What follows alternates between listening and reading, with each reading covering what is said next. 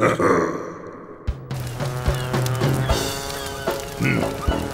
gut, Dave.